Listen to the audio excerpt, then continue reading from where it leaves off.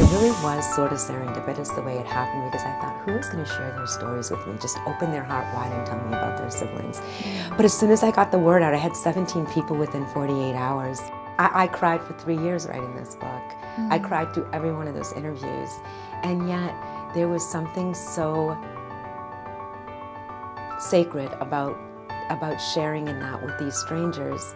It, and it is it is a gift to grieve and it's a burden to grieve. It is mm-hmm. both because we have got this deep capacity to love.